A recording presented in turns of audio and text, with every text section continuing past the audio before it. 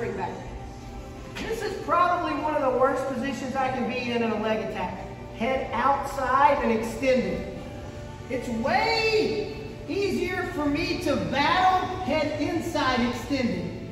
So what a lot of happen a lot of times is guys will shoot head outside attacks, and as we start to defend them and put them in bad position, they'll roll their head inside and start looking for a single leg attack. All right?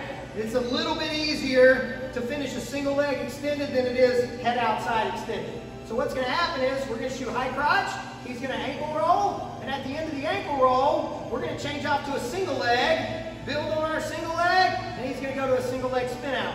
Again, this is all designed to get you guys to understand how to link a lot of these scramble positions together.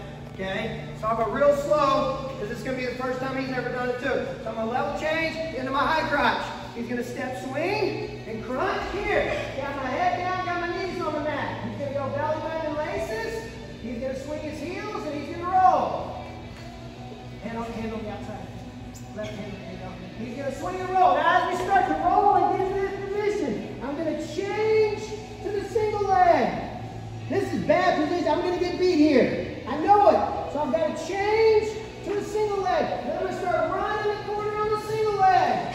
When I run the corner on the single leg, he's going to stuff the head. He's going to hop over the grip. The. He's going to turn 90 degrees.